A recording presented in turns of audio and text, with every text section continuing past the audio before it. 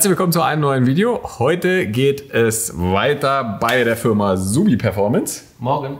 Allerdings planen wir dieses Video schon Ewigkeiten, weil heute geht es um die Thema Kolbenbeschichtung und der Jürgen Runge ist zu Besuch. Hallo, Ich glaube, ich habe wirklich bestimmt fünf bis zehn Mal probiert, dich mal vor die Kamera zu kriegen. Und bisher war es immer schwierig. Ja, das ist nach wie vor schwierig. Aber wir haben es geschafft. so, und Thematik heute ist diese Beschichtung an der Seite. Wobei ich denke mal, wir werden in Summe wahrscheinlich alle Beschichtungen so einmal durchdiskutieren, die es irgendwie irgendwo gibt und gab. Ob wir das schaffen? Inhalt soll aber grob diese Beschichtung sein, weil die kam eigentlich bisher ja bei jedem Motor immer zum Einsatz. Ja.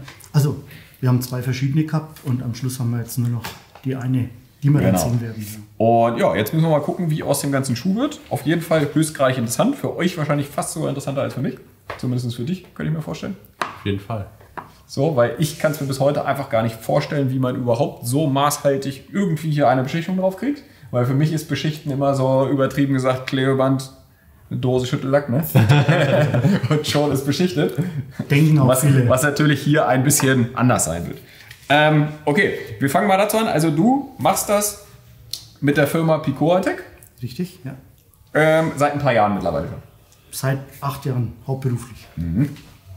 Vorher schon zehn Jahre nebenberuflich, weil ich dann noch auf die Arbeit gegangen bin, aber dann irgendwann hat sich das so aufgeschwungen, dann kannst du gar nicht mehr anders, dann musst du. Die erste Frage, die mich am meisten interessiert, wie, wie ist es dazu gekommen? Wie, es, Oh. Manchmal gibt es ja so interessante Geschichten, wie, wie es zu solchen, weil, weiß nicht, es muss ja Klar. schon, irgendeine Intention muss man ja schon haben, wenn man selber so einen Kolben beschichtet. Also früher in jüngeren Jahren immer Enduro Motocross gefahren. Mhm. Irgendwann musst du den Zweitakter mal aufmachen, musst reinschauen, Kolben wechseln. Jedes Wochenende? Nicht ganz so oft, ja. Auf jeden Fall, die 250er TM hat geklappert mit 800, 900 Spiel. Dann habe ich den Kolben rausgenommen und habe mir die Firma mitgenommen. Damals habe ich bei einer Firma gearbeitet, die stellen auch heute noch äh, Lager für die Luftfahrtindustrie her. Und die kriegen auch teilweise eine Beschichtung, die Lager, ne? also die Gelenklager vor allem.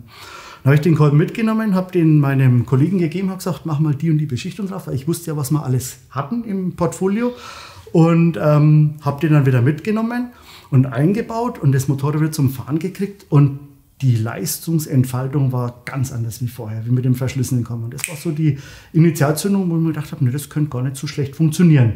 Und dann halt dem einen Sportkollegen, dem nächsten Sportkollegen angeboten. Dann kam mal so ein C-Flugzeug dazu, wie du so einen Verbrenner als Auto hast und so weiter. Ja, und jetzt 20 Jahre später stehen wir hier und unterhalten uns darüber. Ja, also Okay, das heißt, du hast wirklich mit dem beschichteten Kolben eine andere Charakteristik vom Motor auch gemerkt. Sogar. Also du hast den Verschleiß reduziert auf Neumaß sozusagen und damit halt die Kompression und das Laufverhalten von dem Motor wieder auf Neuzustand gebracht sozusagen. Okay, krass. Also du musstest keinen neuen Kolben kaufen, du konntest damit reparieren. Und das sage ich auch den Kunden, die immer wieder anrufen, das ist eigentlich eine Reparaturstufe. Ne? Deswegen brauche ich auch immer einen nachgehunten Zylinder dazu, weil wenn ich auf einen verschlissenen Kolben, der an verschiedenen Stellen verschi verschieden verschlissen ist, hauptsächlich in der Mitte und an den Flanken eher nicht, ja, und du willst ja überall eine Beschichtung drauf machen und wenn du an den Flanken zu viel drauf machst, dann ist es dort zu eng und dann drückt es. Und deswegen braucht man einen nachgehunten Zylinder, dass man wirklich vollflächig beschichten kann. Verstehe. Also ist äh, diffizil ein bisschen. Ja. Ich würde sagen, wir fangen mal bei der Grundaufgabe von dieser Beschichtung an.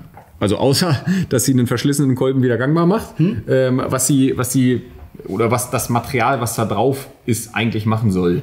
Ha, also äh, eigentlich das verschlissene Material ersetzen und dann natürlich mindestens genauso gut gleiten wie so ein Originalkolben. Ne?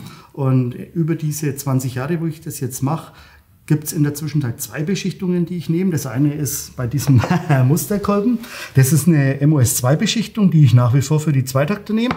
Und die andere, das ist für die Viertakter oder für die PKW-Motoren, das ist diese schwarze Beschichtung. Am Anfang bist Ah, du auch okay, mit verschieden. Das müssen wir uns merken. ja, da ja. müssen wir gleich mal drauf eingehen, warum auch verschiedene. mit der hier gefahren. Ne? Das ist dann der Kolben, der irgendwann mal gestorben ist. Mhm. Und man hat aber gesehen, die ist etwas verschleißfreudiger, weil die auch etwas weicher ist. Mhm. Und dann irgendwann mal zu Björns Zeiten noch, haben wir dann die mal getestet und dann habt ihr in so einem Livestream mal den Motor zerlegt und auch gemessen und da habe ich gesehen, also die hält wirklich was aus. Mhm. Da könnt ihr auch mit 1000 PS drauf rumballern. Das tut ja nicht weh. Ne? Und dann ist natürlich der Bann gebrochen, wenn du weißt, bei 1000 PS Motoren kannst du solche Beschichtungen fahren, dann steht die Tür und Tor offen, alles andere auch Mhm. mitzumachen. Ne? Kurz für die Zuschauer, das ist tatsächlich ein original Limo-Kolben. Ich werde es nie vergessen, wie ich den. Wobei, jetzt muss ich kurz überlegen. das, was ich gerade erzählen wollte, ist, glaube ich, Quatsch. Das war, glaube ich, der Motor, wo zu viel ähm, meine Wassermethanol-Einspritzung habe ich ein bisschen Nitro reingemischt. Ich glaube, der war das nicht. Der war vorher.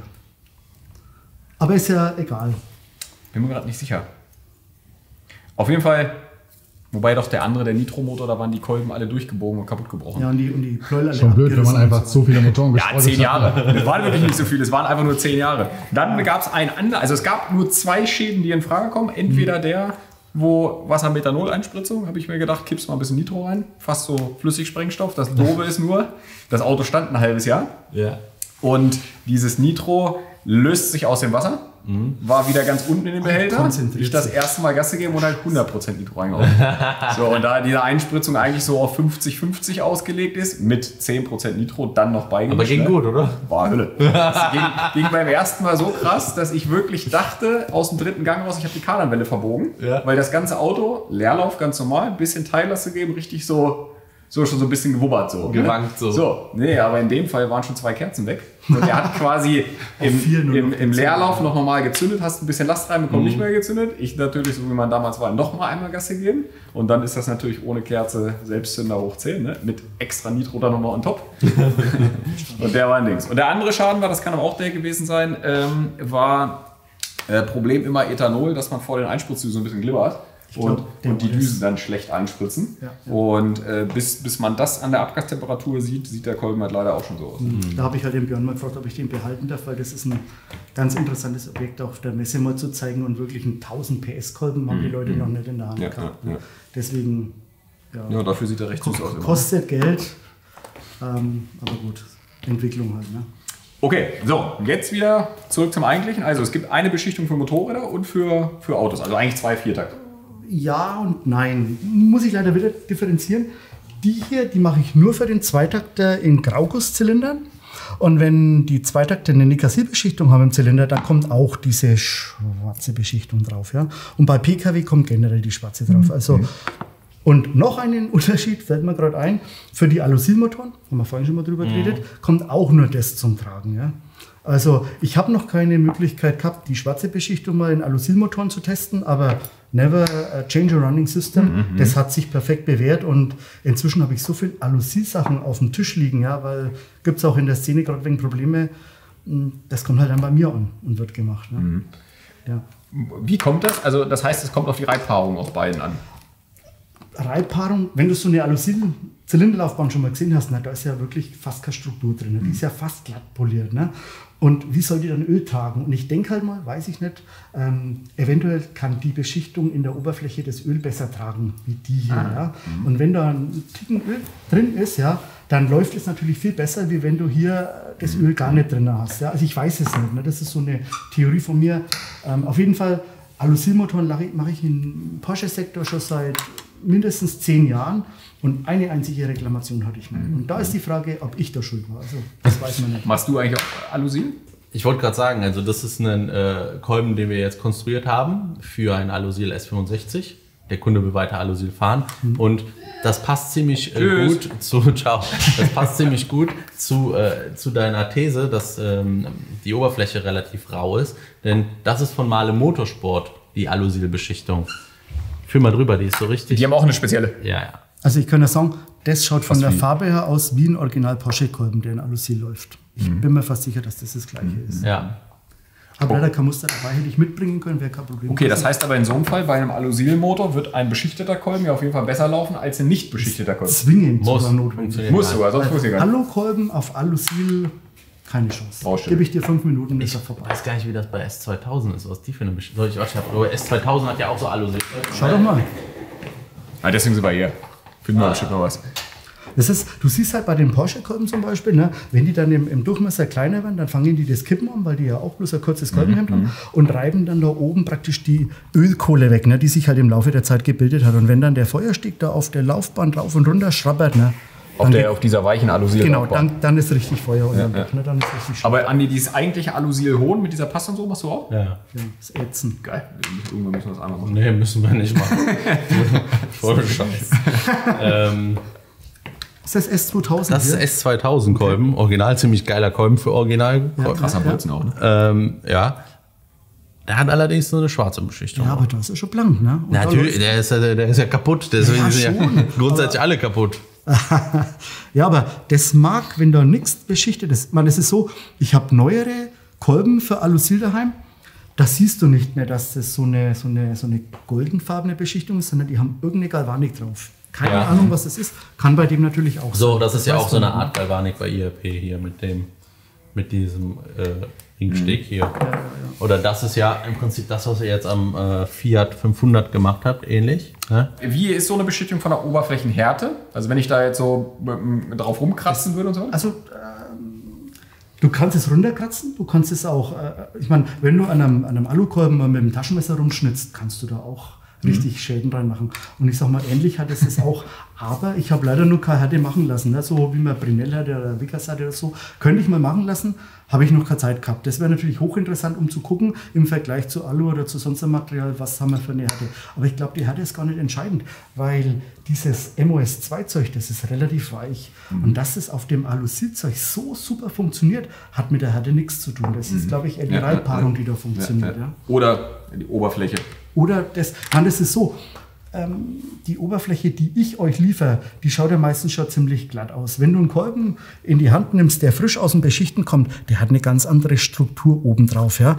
Und es ist so, die werden bei mir alle nochmal eingeglättet oben. So ein Hundertstel im Durchmesser oder manchmal auch zwei Hundertstel. Ne? Einfach, um diese Reliefstruktur wegzukriegen und um gleich den Traganteil hochzukriegen. Und vor allem, das Wichtigste ist, das, was an Relief drauf ist, das ist ruckzuck weg und ruckzuck hast du ein Hundertel oder anderthalb Hundertel mehr Spiel drin. Und das will ja keiner. Ne? Du willst ja gleich eine tragende Fläche, die hat es und dass das Spiel, sagen wir mal, bei 700 oder was stehen bleibt und dass ihr damit auch fahren könnt. Das heißt, beim Beschichten beschichtest du erst ein bisschen dicker, weil du gleich weißt, du nimmst wieder was runter. Genau. Meistens so, also das ist so das Ziel, ein, zwei Hundertel drüber und dann abziehen hin. Jetzt musst du uns auf jeden Fall mal erklären, wie du das überhaupt machst mit dem Beschichten. Nur so grob. Ein bisschen Betriebsgeheimnis ist immer dabei, aber so, so, nur so. relativ banal. Macht echt vor was zum Schreiben. ich. Ich lade euch mal ein. Alles gut. Ähm, eigentlich fängt es damit an, ich äh, hole mir erstmal die Geometrie vom Kolben. Ja? Also sowohl von den IAP, wenn da eine Beschichtung drauf ist, hole ich mir die Geometrie. Also ich messe über die Mitte, ich messe über die Flanken links und rechts, ich schaue, ist die symmetrisch und so weiter. Dann mache ich das alte Zeug runter. Dann mache ich die Grundgeometrie im nackten Zustand sozusagen. Ne? Und schau mal, ist die vorhergehende Schicht gleichmäßig dick gewesen oder haben die irgendwo eine höhere Schichtdicke drauf gehabt und so weiter. Aber das, was drunter zum Vorschein kommt, das ist das, was zählt. Ja?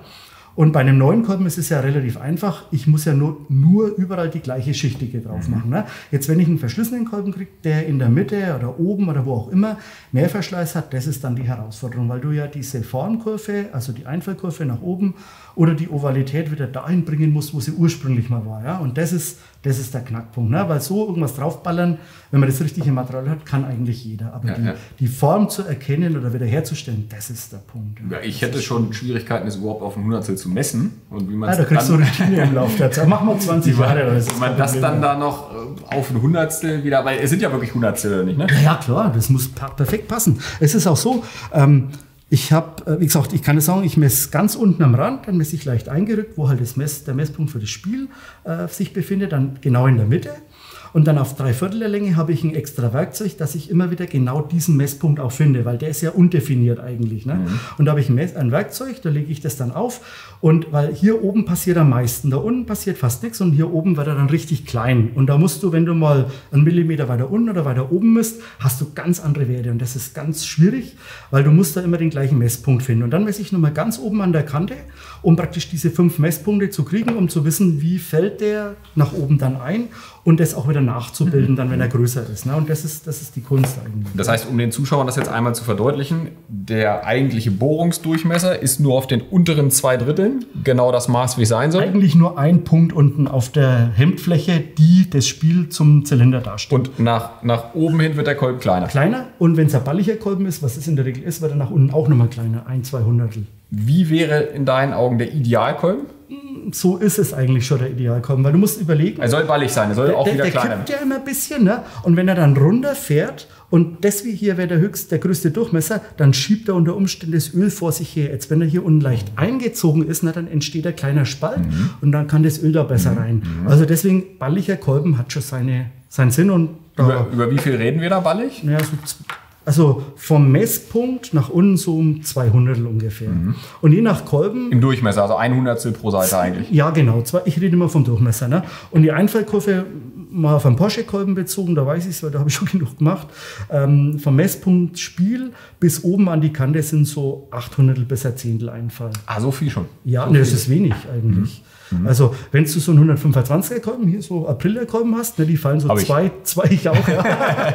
zwei, zweieinhalb Zehntel ein, ne, weil die natürlich jede, jede Umdrehung eine auf den Deckel kriegen und jede Umdrehung zünden und dafür mehr Leistung, Literleistung äh, da ist und dann wächst der natürlich unter dem Temperatureintrag deutlich mehr und musst du dem da oben für mehr Spiel geben. Ne? Und das ist halt, das kriegt man im Laufe der Jahre raus, Mhm. was die Einfallkurve brauchen, Ovalität und so weiter. Und ich, ich Das, ja heißt, schon- das heißt, der ja, Zweitaktkolben fällt weiter ein, Ja, meistens schon. weil er sich dann wieder mehr ausdehnt. mehr ausdehnen kann und ausdehnen können muss auch. Ja.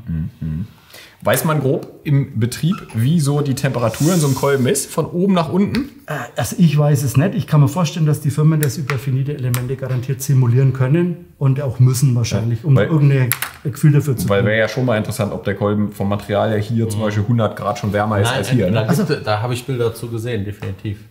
Also ich kann das sagen, wenn du oben den Durchmesser vom Feuersteg misst, ne, der ist meistens vier bis fünf Zehntel kleiner, Mhm, als der, der, weil der halt oben am meisten Hitze abkriegt. Ne? Und ich kann ja noch was sagen, ich habe ja ab und zu mal auch Zubehörkolben, die in speziellen Motoren laufen, sage ich mal. Ne? Und die haben dann ein Tragbild, äh, Gott weiß wie, ganz schlimm eigentlich. Ne? Und dann misst du die Geometrie von den Dingern und siehst, siehst genau, was los ist. Ne? Also die haben da, ich sage jetzt mal, einen Konstruktionsfehler unter Umständen drin, das könnte man optimieren. Und dann rufe ich den Kunden an und sage, pass mal auf, machen wir so und so. Und dann äh, machen wir das meistens.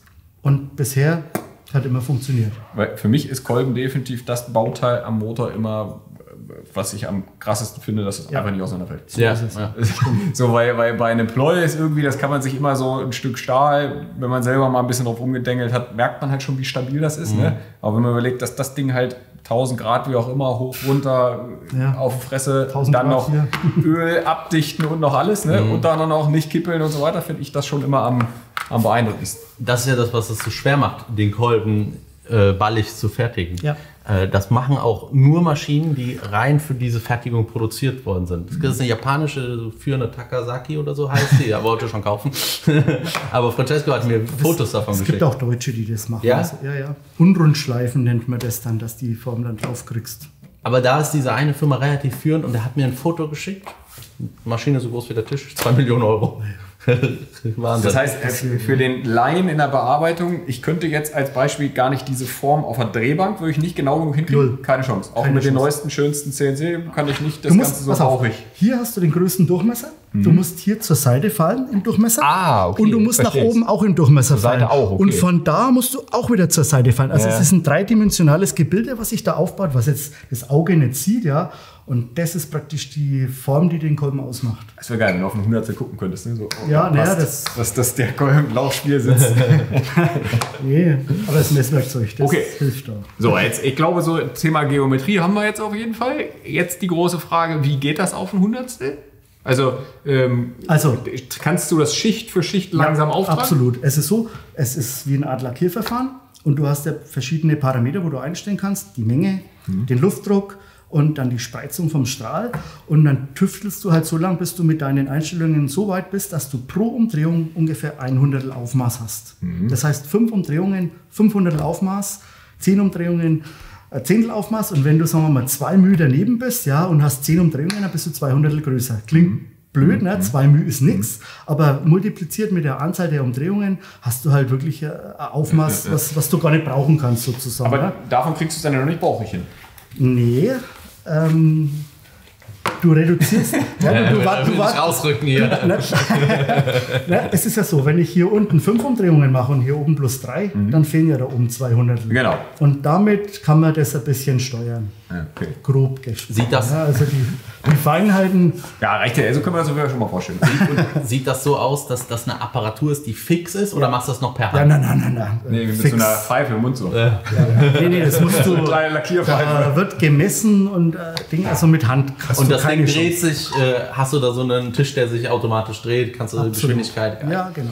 Hightech. Aber die- eigentlich sieht ist richtig Hightech bei ihm zu Hause. Ne? Natürlich- Ich sag's dir lieber nicht, was das ist. Okay. Ähm, und dann, wenn jetzt ein Hundertstel zu viel drauf ist, Ja. dann Wird es, wird es wieder abpoliert. poliert. Okay. Das muss ich von Hand machen. Also da bräuchte ich jetzt so eine Maschine, von der wir gerade gesprochen haben, zwei Millionen, ne, die ballig oval nachschleifen kann, rechnet sich für mich nicht. Ne? Ich habe mal vier Kolben da, zwei Kolben da, Ja. acht Kolben da, wieder was. Bis du die Form der Maschine erzählt hast und bis du eine Aufnahme hast und bis das eingerichtet ist, bin ich von Hand fünfmal schneller fertig. Und vor allem, bis du zwei Millionen amortisiert hast, das ist ein Unding. Wobei man jetzt dazu sagen muss, ohne dich jetzt zu klein zu machen, da gehen schon gut Kolben in Deutschland mittlerweile, gerade so in diesem Tuning-Bereich. Also jeder, der jetzt nicht gerade einen Serienkolben hat, Ja. sondern irgendwie seinen Motor, kenne ich wirklich viele, gerade so JE wie Seco, die unbedingt alle die Beschichtung halt drauf haben wollen. Ne? Es kommen auch viele, die auch ja von neuen Kolben die Beschichtung drauf haben wollen. Ne? Ist nicht unbedingt nötig. Im Zweitaktbereich sage ich generell, macht's nicht. Fahrt erstmal den Kolben 5 Stunden, 10 Stunden, 20 Stunden, weil der verliert sowieso am Durchmesser, ja, durch, die, durch den Verschleiß und manchmal fällt er noch mal ein. Und dann könnt ihr zu mir kommen, Zylinder nachholen, Kolben beschichten, dann könnt ihr weiterfahren. Im Viertaktbereich wenn du den hier anschaust, ja, hast Glühzündungen zu mager, sonst irgendwas, ne, dann kannst du auch mal einen Zylinder retten. Ne, den Kolben kannst du nicht mehr retten. Aber dadurch, dass der, normalerweise wird der durch den Hitze einfach da oben, wird der vollflächig außenrum fressen, weil der überall aufgeht. Ne? Und solange Beschichtung dazwischen ist, frisst er nicht. Außer das Alu hat sich so weit runtergezogen, dass halt dann dazwischen klemmt Ah. und dann ist Feierabend. Verstehe ich. Also das war jetzt ein Beispiel dafür für einen beschichteten Kolben von dir, der Genau. eigentlich oben schon viel zu viel Wärme Der bekommen hat. tot eigentlich oben Trotzdem schon. aber nicht rundum wirklich geklemmt hat. Ne? Genau. Der hat auch den Zylinder retten können, hat halt einen neuen Kolben gebraucht, hat ihn wieder zum Beschichten mitgegeben, hat den Zylinder vielleicht ein, zwei, drei Hundertel nachgeholt, dann ging es weiter. War aber ein Oldtimer-Kolben, also nichts in der Preisklasse sozusagen. Letzter Punkt, wie dick geht das? Weil ich weiß, wir haben uns ursprünglich irgendwann noch mal kennengelernt, da hatte ich nämlich auch einen Motor, Pleuelagerschaden.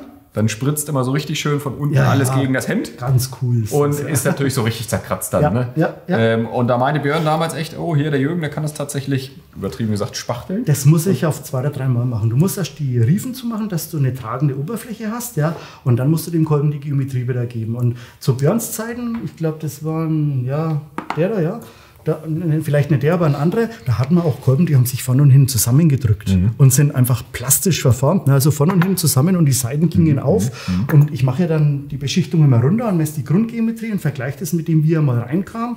Und dann siehst du, oh Gott, das war gar nicht die Beschichtung, die da wegging, sondern das ist der Kolben, der sich verformt hat. Ne? Und das sind dann solche Sachen, wo man sich überlegen muss, fährt man mit so einem Kolben weiter oder kauft man sich einen neuen oder lässt man sich einen machen oder was auch immer. Ne? Das sind so, das waren geile Sachen. muss ich sagen. Wie, und das, jedes Mal, wenn wir es zerlegt hatten, weil ich bin die Kolben länger gefahren, hat Ja. man wirklich, ist nicht so, dass da irgendwie die Riefen durchkommen oder so. Es hat wirklich tatsächlich über Jahre funktioniert. Ich habe Kunden, die waren gezwungen, so einen kaputten Kolben zu mir zu schicken, weil erstens mal nicht verfügbar, äh, konnte man nicht kaufen, konnte man nicht reparieren. Die haben wirklich in die saure Zitrone gebissen, haben den Kolben geschickt, haben das machen lassen und waren überhaupt nicht überzeugt davon. Ne? Und sind dann drei Jahre mit dem Ding gefahren und erst nach drei Jahren haben sie es mal aus Routine wieder zerlegt und reingeschaut und seitdem kommen die zu mir. Also das hätten die nie ge geglaubt, dass das, Das so lange hält. Ja, genau. Was denkst du, ist Maximum der Gefühle, was geht von der Dicke her? Also ich biete den Leuten immer zwei Zehntel im Durchmesser an. Mhm. Ich habe aber auch schon Kolben gehabt, die wurden zweieinhalb oder drei Zehntel Aufmaß gemacht. Also Lieber, ne? richtig, richtig gut. Zwei, drei Zehntel Material drauf. Ja, Das geht aber nicht auf einmal. Das musst du wirklich auf zwei, drei Etappen machen und musst auch immer die Geometrie wieder korrigieren zwischendrin. Mhm. Ne? Weil bei so einem Schichtauftrag, da läuft alles weg. Ne? Also da bist du im Nirvana irgendwann. Da, da gibt es aber ein Problem, da haben wir eben schon mal kurz drüber geredet. Und zwar, wenn man richtig, wenn du jetzt einen 100er Kolben zum Beispiel hast, das jetzt habe ich aktuell den Fall, den haben wir jetzt beschichtet auf 100,05 und haben Bohrmaß 100,13 gemacht, 0,8 Hundertstel. So, und jetzt brauchen wir einen Kolbenring, der für dieses krumme Maß geeignet ist, der Ah. auch die Dicken, die Durchmesser, die, die Breite und so weiter hat. Vorspannung. Ich lasse jetzt Custom-Kolben machen, äh, Kolbenringe. Also es gibt von Total Seal, das sind die, Kol hast du schon mal von gehört? Kolbenringe, die kein, Sp- äh, das sind so, die sind übereinander verlappt, die haben kein Stoßspiel, die machen jetzt Custom welche und so, aber äh, riesigen Aufwand, ne? Das heißt, der Zylinder, wird, der Zylinder wird so groß, dass der eigentliche Kolbenring zu klein schon ist. Das Stoßspiel ist dann einfach beim Millimeter. schon zu groß, ja. Ja, ja. Okay. Und ähm, ich bin eigentlich oft total der Beschichtungsfan, nur wenn man da mit den Kolbenringen am Limit ist. Ja, klar. Das Lohnt kann sich. das K.O.-Kriterium sein. Ja, richtig, richtig. Ist auch, war auch eigentlich mehr so gemeint, eher, dass, dass das Kolbenhemd beschädigt ist und immer dünner wird, ne? Ja, und man nur das Originalmaß wäre. In der Ja. Haltbarkeit habe ich noch nie ein Problem gehabt, weil es gibt ja äh, Serienhersteller, da blättert es komplett ab. Hier haben wir Habe ich schon Bilder daheim gehabt, ja, da habe ich auch angerufen. Auch bei drei Zehntel hat es noch nie was gegeben. Ja, krass. Ist aber auch in der Vorbehandlung, äh, weil die Großserie macht es halt so, die macht ihn fettfrei, bestenfalls werden die noch phosphatiert und dann wird es da drauf äh, mit Siebdruck oder mit Lackieren, wie auch immer, gemacht ne? und dann muss es halten. Und bei mir ist es halt so, ich stecke da viel mehr Aufwand rein, ich, die werden dann gestrahlt, also mit Korun, dass es richtig rau wird. Teilweise pilzt dann der Durchmesser nochmal 100 auf, also der wird größer und dann hast du so eine Struktur da drauf, dass ich das Material richtig reinkrallen kann und dann passiert Aber gar das- nichts mehr. Temperierst du den? Ja, musst du. Für mich klingt das aber eigentlich so, dass der Preis pro Kolben eigentlich zu günstig ist, oder? Also ohne.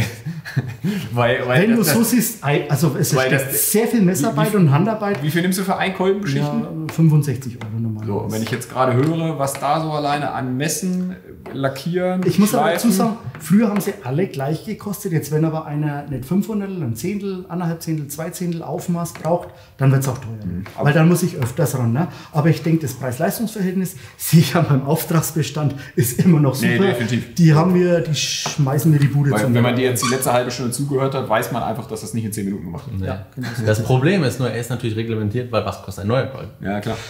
Habe ich auch öfters so. Ich, ich habe überhaupt kein Problem mit solchen. Wenn Sie einen günstigen Ja, ja, Kolben klar. kaufen, kaufen Sie den. Kauf einen neuen, schick einen neuen. Zum Wegen mir. Äh, Im Idealfall ist es ja so, dass du die Kolben beschichtest, die es nicht mehr zu kaufen gibt. Das kommt auch oft vor. Das ist eigentlich der Freifahrtschein. Ne? Herr Runge, ich habe hier Kolben, die gibt es nicht mehr. Haha. nee, die, werden, die werden genauso teuer oder billig wie die anderen auch, ne? logischerweise. Das heißt aber, letzter Punkt, die Geometrie, die der Kolben hat, wenn er deine Manufaktur verlässt, Ja. ist idealerweise immer die gleiche. Also du richtest dich nicht danach, Die wie er war, sondern wie du sie gerne hättest. Ja, oder wie sie mal war. Manchmal kriege ich einen Musterkolben dazu oder habe irgendwo einen Musterkolben, der neu ist. Porsche-Kolben habe ich ganz viele. Ne? Da kannst du die Kontur abnehmen. Das ist natürlich erste Sahne, weil dann musst du nichts denken. Und bei anderen Sachen musst du schon wegen überlegen. Das ist eigentlich die Hauptarbeit. Welche Geometrie soll der bekommen hinterher? Ne? Weil, kannst dich vielleicht noch erinnern, bei der letzten Ausbaustufe von der Limo, da war oben alles abgeknabbert. Weißt du es noch? Hast mich angerufen, alles ganz schlimm. Ja. Und, aber es war so, 1200 PS, 600 Laufspiel, Einfallkurve ein Zehntel. Ähm, war mir dann auch klar, dass es nicht funktionieren Muss ich kann. mal ein Foto raussuchen. Ja, ich hätte welche dabei sogar. das, heißt, das heißt abgeknabbert, weil wurde groß Genau. und hat ein bisschen gerieben. genau, und hat es halt weg, weggeflogen. Hier Ne? ist doch eigentlich auch schon der Ansatz davon. Ja, genau, weil es da oben heiß wurde wie Sau. Ja, ne? und dann richtig, drückt genau. der halt. Ne? Aber da sieht man witzigerweise auch, dass es tatsächlich, also selbst so von der Geometrie her passt es auch, wo es dann größer werden Ja, würde ja, und sich als ja, ja. erstes. Und ich weiß noch, ich habe den, den Björn dann damals vorgeschlagen, machen wir anstatt 600, machen wir 800 Spiel und erhöhen die Einfallkurve von einem Zehntel halt auf 14 oder 15. Und dann, glaube ich, habt ihr irgendwie gerissene Buchsen und so weiter gehabt, dann kam das Ding gar Ja. nicht mehr zum Einsatz. Ja, ja, ne? ja. Und das wären halt so die Maßnahmen, die man dann mit der Beschichtung treffen kann, ohne dass man sich einen neuen Kolben bauen muss. Ne? Ja. Da kannst du variabel alles Mögliche. Jetzt fällt mir gerade ein, du hast mir eben vom Formel 1 Kolben erzählt. Ja. Hast du die Einfallkurve da mal gemessen? Ah, habe ich, aber habe ich nicht mehr im Kopf. Okay. Kann ich dir schicken, ist kein Problem. Alter Ferrari 3 Liter V10, ne? 2002 Schumacher-Ära. Hätte ich mitbringen können. Ein geiles Teil. 0,7 mm Kolbenring. Das, das heißt, der sieht da wahrscheinlich eher so in die Richtung aus, oder? Ja, oder der, schaut so aus. Ja, ja, der hat dann, der hat dann hier Bridges drin, ne? hier Bridges. Und diese Strebe sind auch noch bis zum Rand. Und halt, er hat es ja gerade schon gesagt, der erste Ring 0,7 breit. Also das ist ein Hauch. Ne? Und der Ölabstreifer mit 1,4 Millimetern. Und das war's. Dann steckt da so ein, so ein Pantelpleuel dran. Äh, Titanpleuel natürlich mit einer Langlochbohrung vom Hauptlager unten hoch zum Kolbenbolzen, dass das über die Druckölschmierung da oben auch noch Öl kriegt. Ne? Das macht ja sonst keiner. Ne? Sonst puncht der ja, Ja, bloß ja. in der Kurbelwelle und schaut, dass er da irgendwie Öl hinkriegt. Und das ist schon ein geiles Teil, muss ich ehrlich sagen. Das ist schade, hätte ich mitnehmen können. Das heißt, auch dort fahren auf jeden Fall beschichtete Kolben. Also es gibt eigentlich fast kaum noch Ja. Kolben, die ohne Beschichtung durch die Gegend Also fahren. ich, weiß noch, nicht ganz das Kolbenthema, wo ich bei der Flugzeuglagerfirma gearbeitet habe, hab, da hatten wir den Leo Ress mal da. Das war der Chefkonstrukteur von Sauber in der Schweiz damals. Weil mein Chef, der war ganz geil auf Formel 1 Sachen und hat halt denen immer Lager gemacht und die mussten wir immer händisch durch die Fertigung tra tragen. Ne, das war echt, uh. auf jeden Fall. ne, und der kam dann mal und dann hast du natürlich den Mann zum Löchern gehabt, ne, was Motoren angeht und so weiter. Und der hat halt dann auch schon von DLC was erzählt, ne, wo, ich noch gar nichts davon wusste, weil er sagt, naja, Runge, überlegen Sie sich mal bei 4G Querbeschleunigung, wenn da der Ölsumpf mal kurz kein Öl kriegt, dann ist der Kurbeltrieb kaputt. Aber durch diese DLC-Beschichtung hat er eine reelle Chance, mal kurz diese ein, zwei Sekunden zu überleben. Und so setzt sich das Thema dann fort, ne, bis zum Kolben. Das heißt, die haben diese DLC-Beschichtung an allen drehenden Teilen Wahrscheinlich, ungefähr ja, eingesetzt. ja, ja. Richtig cool. Okay, das ist Thema DLC-Beschichtung wird dann das nächste Video. nächste. So, jetzt eigentlich zu unserem Fall. Und zwar, es geht um den Abarth-Motor. Was war Problem da? Ähm, dein Motor, den du gebracht hast, der war schon auf Fertigmaß. Wir mussten nochmal 500 rausholen. Ah, okay. So, das heißt, wir hatten das Problem, dass eigentlich übertrieben gesagt entweder Kolben beschichten oder noch einen wieder einen anderen Block ziehen. Genau. Oder neue Kolben kaufen. Jetzt, jetzt waren da aber gerade schon schön die Gewinde geschnitten, der war schon gereinigt und so weiter. Ne? Plus ich die Beschichtung ja eh so feier von dir. Deswegen einmal Kolben zu dir und auch diese ja, einmal beschichtet. genau. Und in dem Zug halt auch mal die Kolbenbodenbeschichtung. Die hattest du ja bei der Limo auch schon mal drauf. Ähm, ich kam dazu, weil der Kunde richtig scharf war, das zu kaufen. Da habe ich gesagt, pass auf, wenn du was bestellst, ich hänge mich hinten dran, dann habe ich das Zeug auch im Haus. Und du bist einer der wenigen ersten Kunden, die das praktisch hier jetzt auch drauf haben. Aber du kennst es ja schon, das hat ja schon damals funktioniert. ja, ja. Ihr habt ja auch schon mal so einen Wärmeversuch gemacht mit dem Blech, beschichtet, unbeschichtet. Äh, Ich habe das Video neulich mal gesucht, habe es leider nicht mehr gefunden. Und da haben wir ja gesehen, dass das wirklich die Temperatur reduziert. Ne? Das heißt, da gibt es nur von der Grundbeschichtung her einen Hersteller. Es Und, gibt und alle, die mehr, auftragen, nutzen die gleiche dann. Der ist halt derjenige, der, glaube ich, funktioniert. Ich habe von Björn noch eine andere daheim. Katastrophal zum Anwenden, weil du da unheimlich aufpassen musst, dass du keine Blasen kriegst beim Mhm. Temperieren und so weiter. Und das hier ist relativ easy gewesen. Ne? Das heißt, hier ist jetzt auch richtig Beschichtung drauf. Genau, oben. Der ist ja so nicht golden, der ist sonst so silber wie außenrum. Ja? Das heißt, Unterschied zwischen der Beschichtung und der Beschichtung ist, dass die eigentlich nur gegen Temperatur Das ist genau, da ist irgendeine Keramik drin, keine Ahnung. Und das hier ist halt was, ähm, was Gleitpartikel drin hat, dass der eben gut reibt, oder wenig reibt und gut gleitet. Hat schon wieder vergessen, wie klein diese Kolben sind. Ich denke, die Oberfläche wird durch diese poröse Beschichtung massiv erhöht. Ne? Hier meinst du jetzt? Ja, Weiß ich nicht, ja. Also ich hab, da habe ich jetzt nichts nachgearbeitet, ne? weil Musst ja nicht. das sind IRP Platinum, beste Ausbaustufe. Da sehen wir die auch. Von IRP. Also, Die Beschichtung, ja. ja, richtig. Das ist Gold. Also die haben nur dann diese galvanische Beschichtung. Ja. Das ist auch so eine Art. Ich, ich kann ja nur was sagen, ich habe äh, Porsche-Kolben zu Hause aus der Gruppe C-Zeit, 1962. Ja, also ist schon lang, lang her. Ähm, die Kolben schauen echt interessant aus. Die haben erst einmal eine große Mulde oben drin, weil es ja Turbomotoren waren, um die Verdichtung zu reduzieren. Dann haben sie damals schon diese Hohlkanäle drin gehabt mit dem Salzkern, wo du praktisch mit Spritzöl in, den, in den Kolben reinspritzt, um die Temperatur rauszukriegen. Ja, genau, bei dem Dieselkolben sieht man es. Genau, da so wie die Konstruktion. Ne, das sind ja so High-End. Dieselkolben im Moment und die sind ja thermisch natürlich auch belastet, ja. Und was an dem Porsche-Kolben ist, der hat oben, der ganze Kolbenboden hat wie so eine silber satinierte Beschichtung drauf. Was es ist, ich habe keine Ahnung. Im Flugzeugbau haben wir auch Lager gehabt, die die Beschichtung gehabt haben. Das könnten wir mal testen unter Umständen. Und das war garantiert was, was auch wegen Klopffestigkeit, Wärmedichtheit oder so bestimmt ähm, zum Tragen kam bei denen damals. Du sagtest Hochleistungskolben. Wo kommt so ein Kolben her? Der ist aus dem, ich denke aus dem VW TDI so mit 220, 240 PS, was die halt serienmäßig gerade haben. Echt so einen krassen Kolben haben schon drin? Ja. Merkt, Ja, ich bin kein den, Dieselschrauber. siehst, siehst, die, die, die gießen da Salzkanne ein unten ne, und spülen die dann hinterher aus und Mhm. hast du da praktisch eine Zulaufbohrung, nehmen aus dem Rinkern dann mit dem Öl die, äh, die ähm, Wärme raus und aus dem anderen geht das Öl wieder raus. Und das zweite, wo man sieht, ist halt dieser Ringträger, der oben den ersten Ring armiert. Wenn da blankes Alu wäre, bei den Verbrennungsdrücken wird die Nut sich sofort verabschieden. Ja, und da hast du praktisch den Stahlträger drin und dann, dann hält er die Leistung auch aus. Dieser Stahlträger, der wird wahrscheinlich direkt mit reingegossen werden. Ne? Genau, ja, ja. Okay. Tja, so haben wir. Kann man diese Kolben auch im Benziner fahren, wenn die so krass sind? Theoretisch ja, das Problem ist, das Ding ist so krass, der, Schwer. der fliegt aus dem Benziner einfach raus, weil es dreht, dreht halt meistens nicht so. Bolzendurchmesser ist meistens derart groß, ne, wegen den Verbrennungsdrücken, das Ja. braucht der Benziner meistens gar nicht. So, also in dem Fall ist es, du könntest natürlich einen Benzinerkolben auch genauso auslegen, brauchst du aber gar nicht, ne? Weil, weißt du, mit dem Gewicht kannst, du drehst halt 5000 und nicht 8000. So schaut's aus, genau. Und das Kolben, äh, das Pleu weg. Ja, du noch irgendwelche Fragen? Ähm, manchmal sehe ich so grüne Beschichtung. Was ist das? Das ist ein Marktbegleiter. Mark der das auch Aber macht. was ist das? Für eine, ist das auch äh, von der gleichen Basis wie deine? Ist Folie. Könnte sein, ja. Also ich weiß es nicht. Ich, äh, Machst du Ich aber, du, du hast diese grüne gar nicht im Angebot. nee, also es ist auch so, es gibt Anbieter, die bieten dir das in grün, in blau, in rot und so weiter an. Schaut vielleicht gut aus, aber wichtig ist die Performance, was es halt liefert hinterher. Was ist das für ein Material? Ich kann es nicht 100% PV, PTFE wahrscheinlich. PTFE, genau. Also so bietet es, glaube ich, einer der Mitbewerber an als Okay. PTFE-Beschichtung. Ja. Hatte ich auch irgendwann mal drin, hallo. Ja, Ganz am Anfang, vor mir. das Problem ist das mit dem Aufbau, wenn man da mal auf dem Mars, das ist irgendwie nicht wirklich möglich gewesen und äh, ja.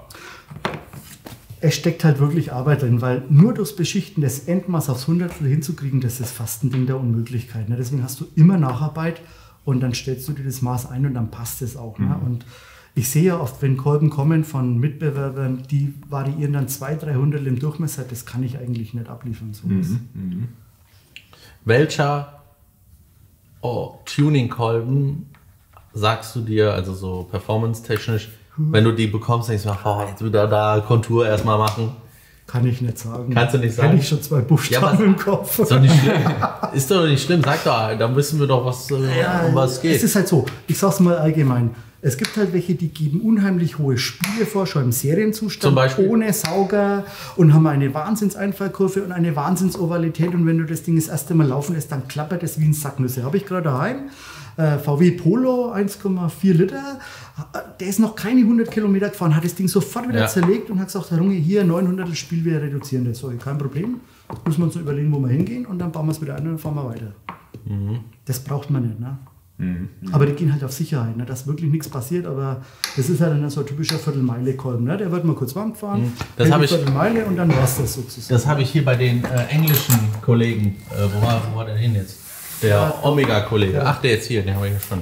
Der hat das auch. Der hat äh, super viel Laufspiel. Der funktioniert zwar, aber äh, klappert im kalten Luft vor sich her. Und im Warmen wahrscheinlich auch noch. Oder? Ja, so leise, wenn er dann gerade wenn er gerade von der Last kommt und du, du hörst dann hin, ist weg und dann läuft er zwei Minuten irgendwie in der Ecke, dann ist er wieder da.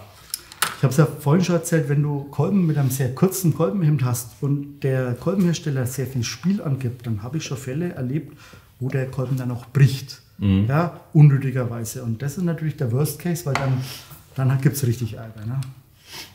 Bei mir ist der Auspuff immer so laut, ich höre keinen Klapper. Tja, okay. Also ich habe keine Fragen mehr, alles beantwortet, was ich auf dem Herzen hatte. Und das war mal wieder richtig technisch. Ich würde mal sagen, falls noch Fragen bestehen, Genau. rein. Fleißig Kommentare ballern. Wird ja nicht zum letzten Mal hier. Und sieht auf jeden Fall mega aus. Und wir machen jetzt genau hier weiter und werden die nämlich. Welche Leistung peilt er da an mit dem Abarth? Boah, nicht viel. Alles. Alles.